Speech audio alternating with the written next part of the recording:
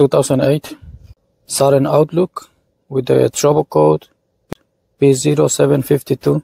Also there is two more trouble codes. One is P0496 but this one doesn't have anything to do with the transmission. In order to fix this problem, the entire module need to be replaced. Remove the drain plug. It's in the bottom of the transmission.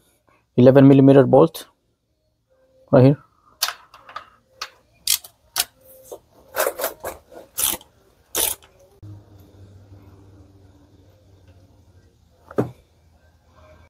When all the transmission fluid has been drained, go ahead and torque this bolt.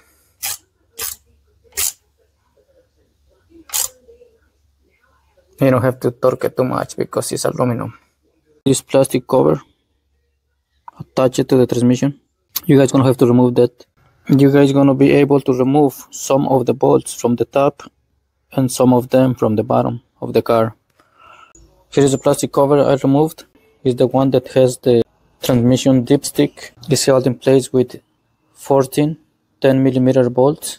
That's the order I remove them. After you remove the plastic cover,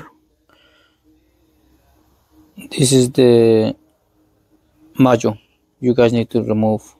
This one has four connectors, but one of them can be connected from the outside, which is going to be this one. So before you guys put the plastic cover, you want you guys want to make sure to reconnect the the three inside.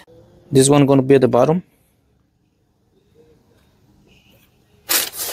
and two on the top. One, two. This module has 11 bolts.